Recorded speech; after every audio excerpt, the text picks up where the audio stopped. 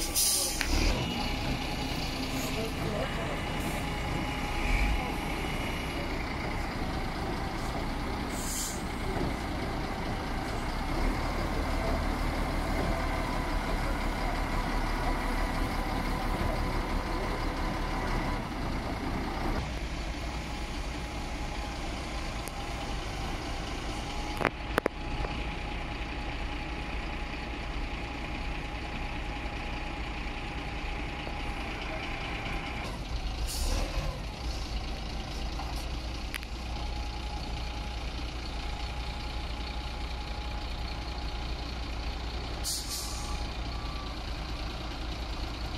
You see now this load now is 100% this one.